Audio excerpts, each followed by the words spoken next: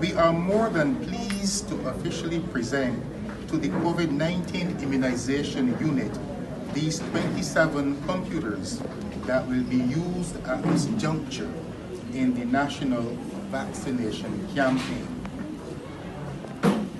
As was noted, these computers were purpose-built at a cost of approximately $155,000 and are designed for deployment and use in demanding situations and conditions beyond which standard computers are designed to operate. The computers will be used to run specialized software in the various phases of the COVID-19 immunization administration, distribution, and overall logistics processes and will significantly improve the coordination and efficiency at all vaccination centers across the island, including the mobile unit. They will also be used in issuing the digital certificates to fully vaccinated persons.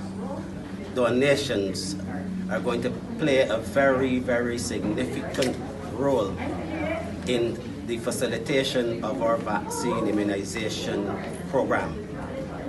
And they are being presented at a time when we are seeking to improve the numbers of persons that are fully vaccinated or partially vaccinated in this country. They come at a time when we are about to see greater numbers arriving and departing Grantley Adams International Airport, including Barbadians and residents of Barbados. And they come at a very, I would say, a timely intervention. That is what I would call it, because I have been receiving a number of calls and emails from people who have been asking why they have not yet received their vaccination certificate. And so I'm very, very pleased this morning to be able to witness this presentation and to really say thank you to the Massy Foundation on behalf of the Prime Minister and the government of Barbados. This will now allow us to be able to do what the people want, which is to receive their vaccination certificate so that they too can travel in a hassle-free COVID environment. I also laud the decision taken, and I, I forgot my honorable friend over there, Colonel Glyne Grannum, Chief of Staff of the Barbados Defense Force. Uh, I thank you very much, um, Chief of Staff, for the support that the force has been given, given to the vaccine immunization program. And I really laud the decision taken to donate these laptops to the Defense Force medical team after they are being used in this COVID immunization program.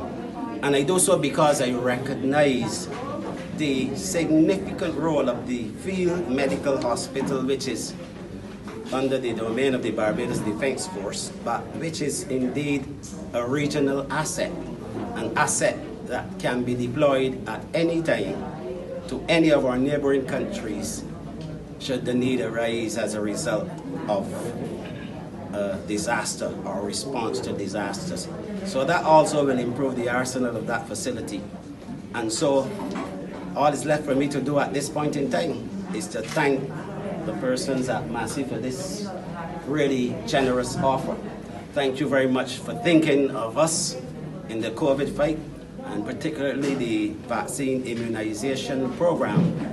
And this only goes to show that collectively collaboratively that we can do what is required to fight COVID in all of its manifestations.